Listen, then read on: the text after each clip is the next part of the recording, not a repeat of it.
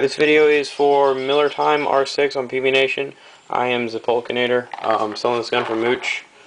It's a CCM S6B, serial number 221. Uh, chrono right here. 286, 5.5 uh, pulse per second. Uh, let's see, pump gun. How am I going to do this? Put the camera down right there. Move it this way towards the tree. Put it about right there. Okay. So, see if I can work this out. Um, do do do do. 280. This is not holding the pump handle, but this is like mad underbore. This uh, disruptive barrel. 285 is a 679 bore, and this is polar. Ooh, plus minus one right there.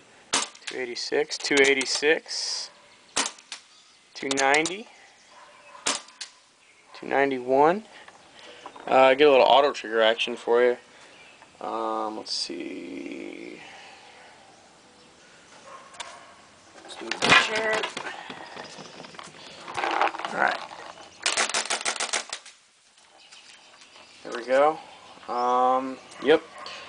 This is his gun. Uh, if you have paint that matches like that, and uh, yeah, you have, you have a small bore barrel.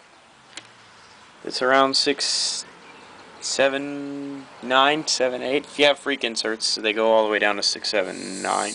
But you can buy a. Uh, that's just the on-off. It wasn't leaking.